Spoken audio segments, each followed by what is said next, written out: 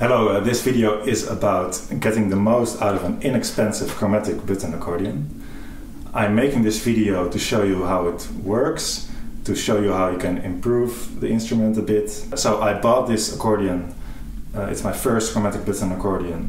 Uh, it's, and I bought it for 400 euros online second hand. So I didn't want to buy a really expensive one because I want to play outside with it, travel with it so it might get damaged. Um, also, I didn't just want to spend a lot of money for the first button accordion I bought. So I'm going to show you uh, some fixes, uh, some improvements I did in this accordion. So the first one is uh, removing a note from the seventh chord, because this one had four notes on the seventh chord instead of three. Two, uh, I've added actually an extra option, an extra bass, bass uh, register. And three, uh, I've improved the balance between the treble and the bass a bit. So that's it. Uh, first, I want to tell you a bit uh, about this accordion. Um, so the brand is uh, Barcarole, and it was made in East Eastern Germany uh, by the Gebrüder uh, Gündel, a company which was later bought, I think, in 1972 by Weltmeister. So it's from before 1972. I've actually found an old catalog uh, in where this is advertised. It's a, little bit a different version, so it's not exact this one, but I'll show it to you now. Uh, and the range is from a low, uh, a low C to a high A. So this is the lowest voice, then we have the middle voice.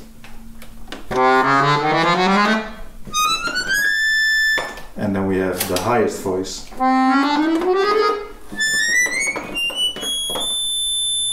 And then there's a fourth voice which, which you can use to get a tremolo effect. This is just the two middle ones. You can add a lower voice. You can add uh, instead add a higher voice.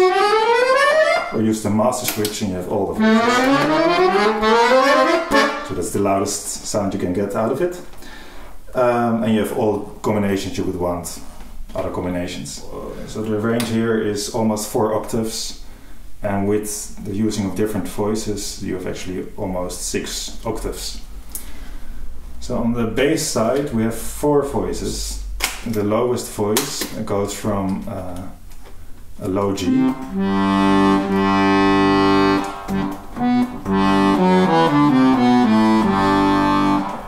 low G to the F sharp, and there's another octave on top of that with the same, so that's another voice is one octave higher.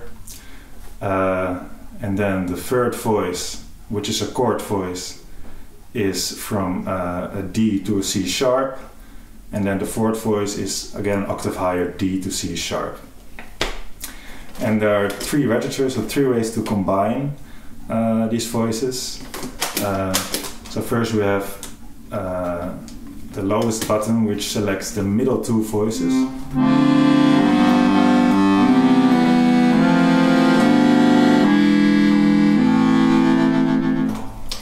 Uh, and then we have the high one which selects only the highest two voices, which are both chord voices.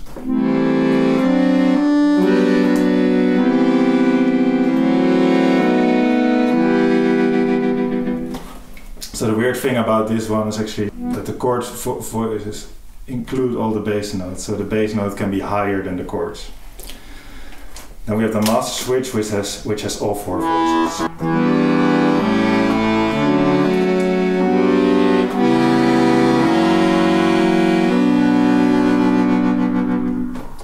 So now we go to the first fix, removing the fourth note from the seventh chord. So for example, we have a G here, they have a G major chord, minor, G7 chord. So when I got this accordion, it turned out that when you play the seventh chord, you get four, all the four notes of the seventh chord. And this is something I don't want. Uh, because, uh, well, if you just play this chords, it doesn't matter. But you want sometimes you want to combine a, a chord button with a different bass note, so you can have like funky chords. And one of my favorite chords is actually uh, uses the, the seventh button. So I will now play a little piece so you can hear that the chord is not the way I want it to be.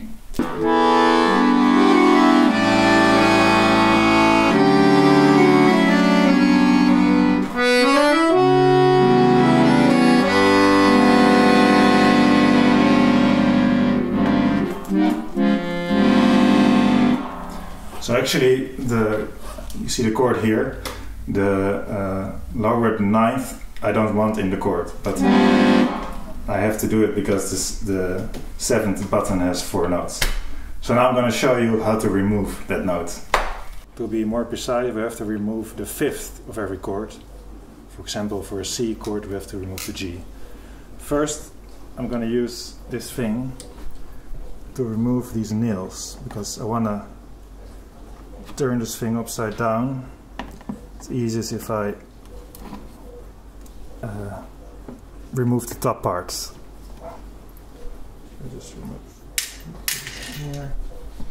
There are three more at the back. So now we can lift up the top part. Put it here. And now we see the bass side with the reeds. I'm going to turn it around.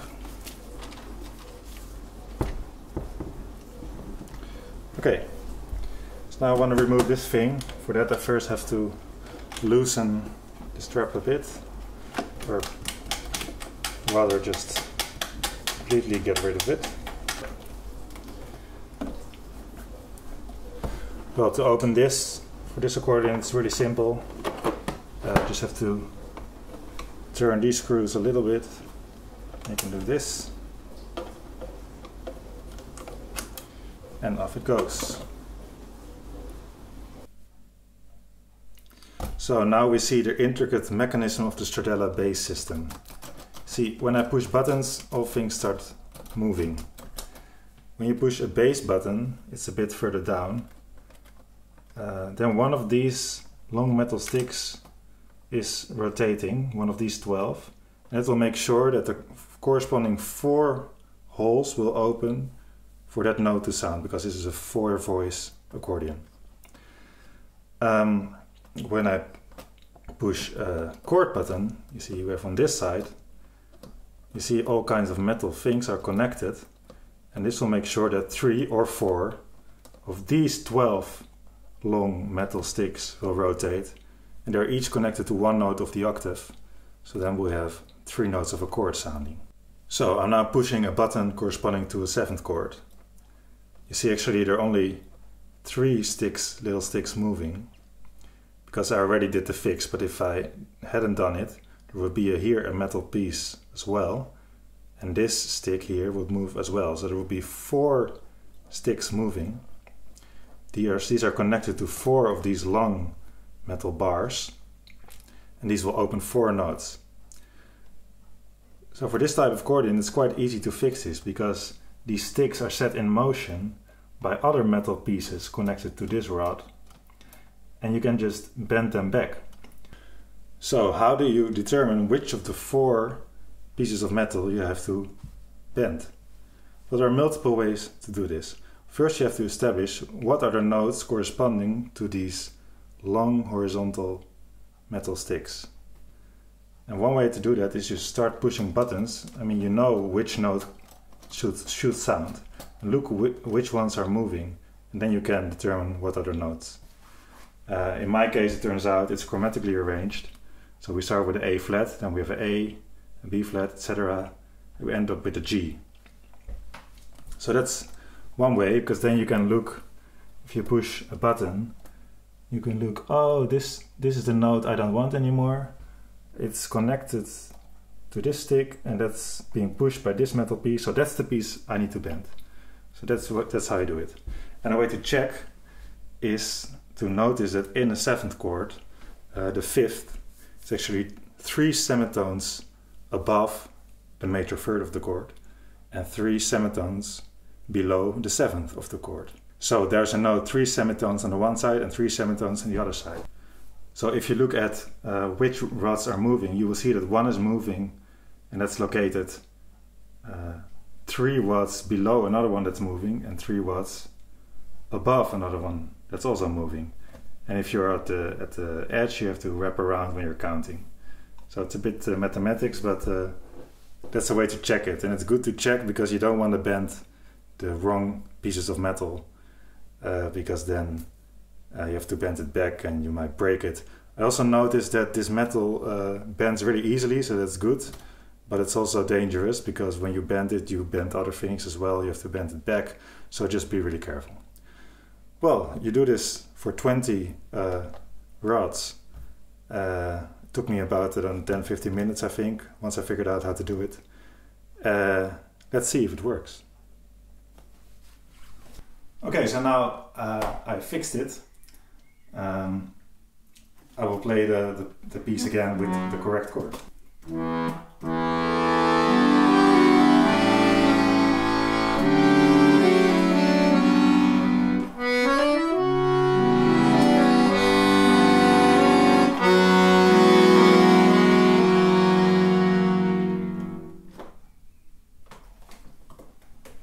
So now I'm going to show you the second fix, and this has to do with the bass registers.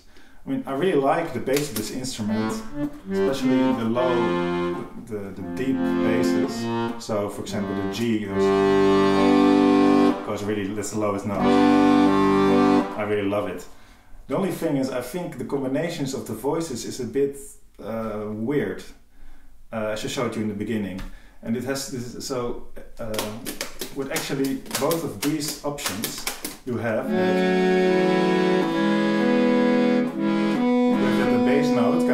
higher than the lowest note of the chord.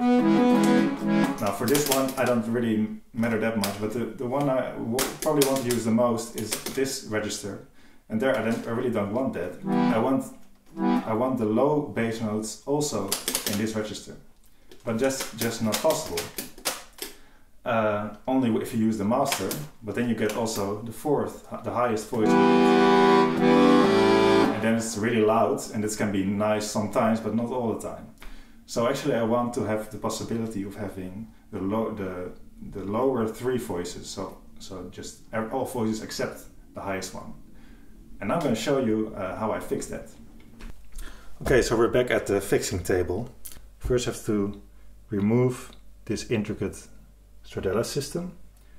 So I do this and this. And then there are just some tiny screws I have to unscrew.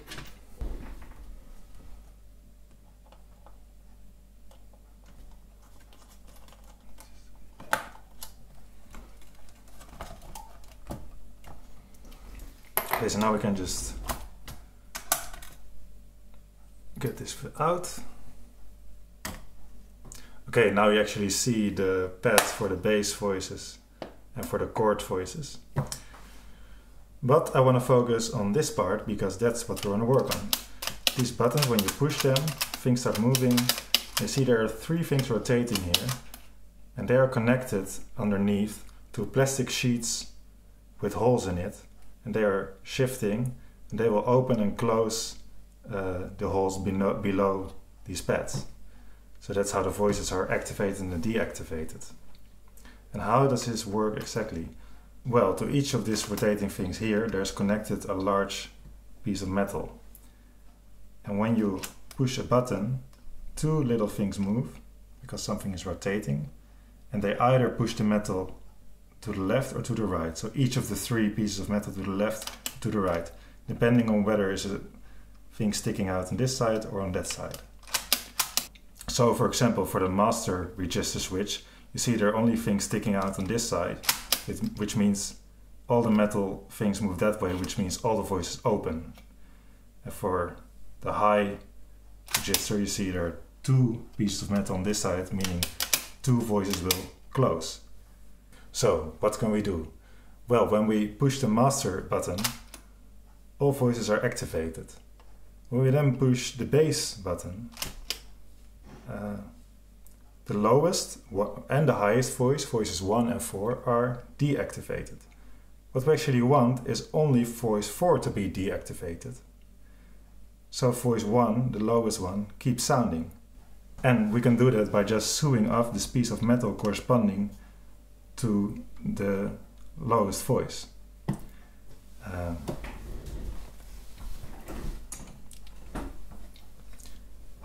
And we can do that using just this metal saw. Um, well, isn't that a problem then? Because uh, do we don't we then miss the register we originally had? Well, no, actually not, because if you first push the highest button and then the lowest button, um, then because the highest uh, button already turned off the lowest voice, then the lowest voice is still deactivated when we push the lowest button. So then we have the configuration of voice 2 and 3.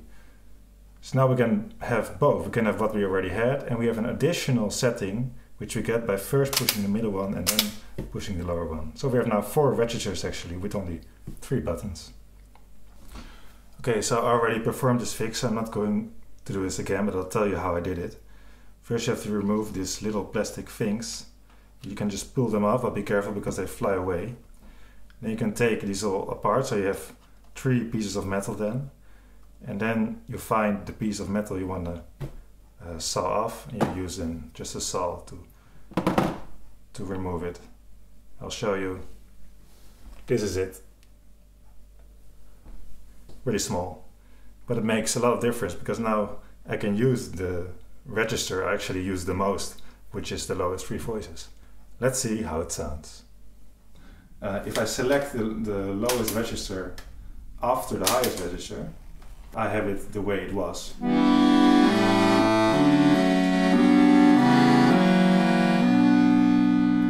Which is with the high bass notes. If I select it after the middle register, but after the master one, I get the low uh, bass notes as well.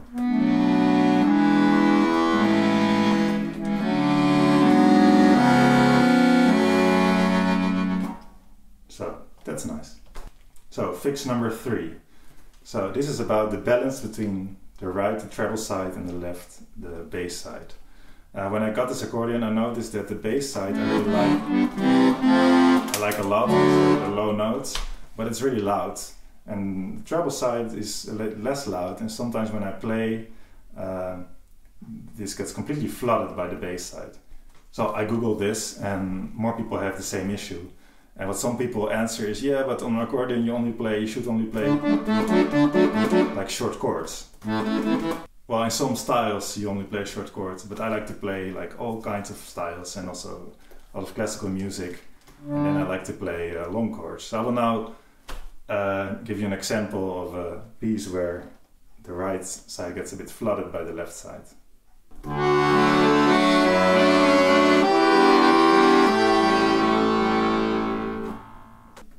So now I'm going to show you how to fix this. So now we've arrived at our third and final fix is improving the balance between the bass side and the treble side. Well, first I want to work on the bass side. Well the easiest thing actually is if you take a look this cover, you see there are quite some openings in it. Actually, I have another accordion where there are much less openings. And the sound, of course, gets out here a lot, and also the air gets in a lot. So one fix is to just uh, close this. So, and I do this just by taping it. Pretty easy.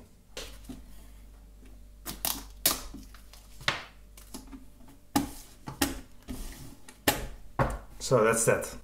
So the second thing uh, you can do, what I did, is actually using a towel and put it in between. So this absorbs a lot of the sound and it also prevents air from flowing. Uh, and I put this towel just around uh, this bass side. Just put it around here. Uh, and then we get the desired effect. So let's do that. So first I need to fix this Stradella bass part again. So let me do that first. So it's actually easy if you put it like this because then gravity keeps helping the buttons being depressed.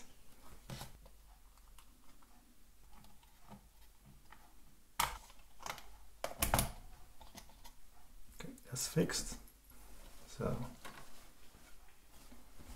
and then use tape to uh, fix it here and here and maybe here. And make sure the towel doesn't impede the movement of your buttons and also of your uh, air release button.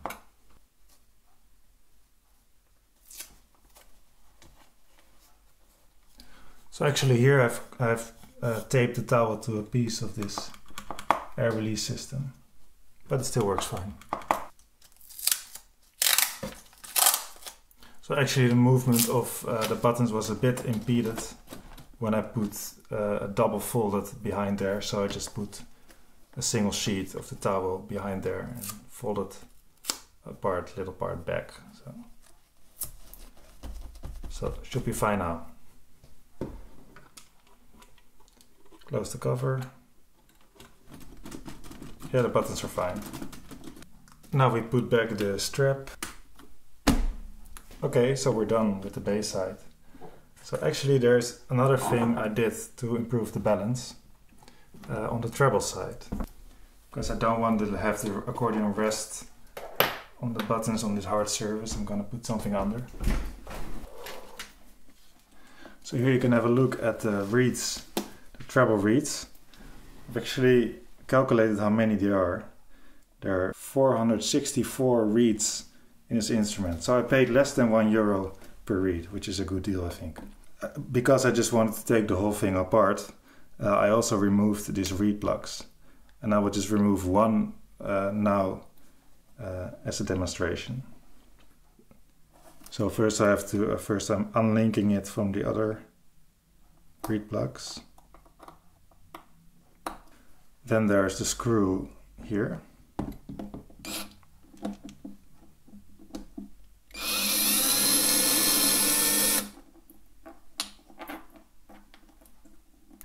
And there then there are these things on the side which I first removed using this but there's no little room so I have to like do like a 1-6 rotation for a long time. Uh, so today I bought this thing which makes it a lot easier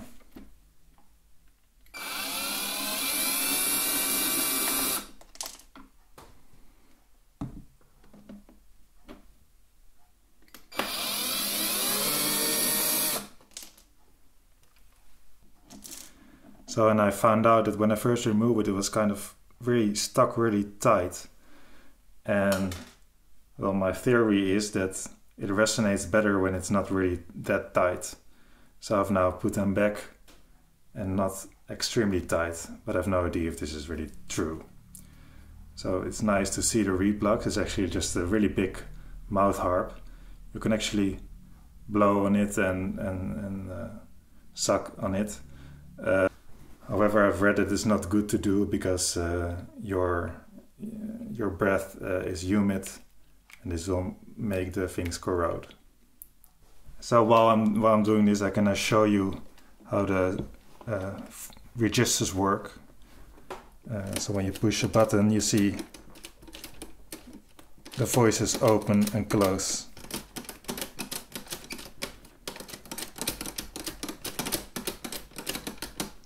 So that's there are these plastic sheets in between uh, with holes in it and they shift like that. So one last thing I wanted to say is that uh, I've actually also tried to put a towel uh, over here on the in the bellows over the bass side. But uh, I removed that again because, well, the first thing, I don't want to damage the reeds or the valves. So it was a bit scary to put a towel there. And actually, I found out two notes were very much out of tune when the towel was in there. Probably the towel was touching the reeds or something. So I've removed that, and I think uh, the effect is already enough without the towel here. So uh, I'm not going to do that again. Put a towel inside the bellows. So you can just push back these nails. Be careful you don't scratch the accordion with it. Sometimes you need to use a tool to just push them a bit further because your hands won't be enough. So, we're done.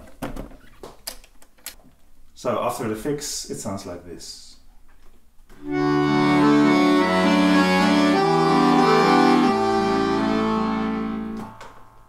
So there's another thing that might improve the balance a little bit, uh, and that's just removing this cover. Uh, then the, the treble uh, keys will be exposed. It's also nice to see, so I will do that now.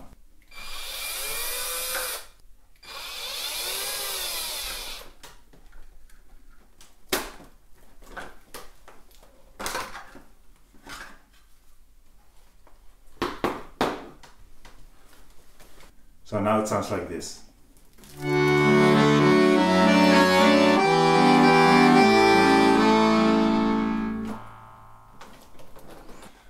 So that's it. Uh, I hope you enjoyed this video and learned something from it. Uh, if you have any comments or any questions, please comment and ask questions. Bye. And now I just I just have to and now I just have to start practicing a lot.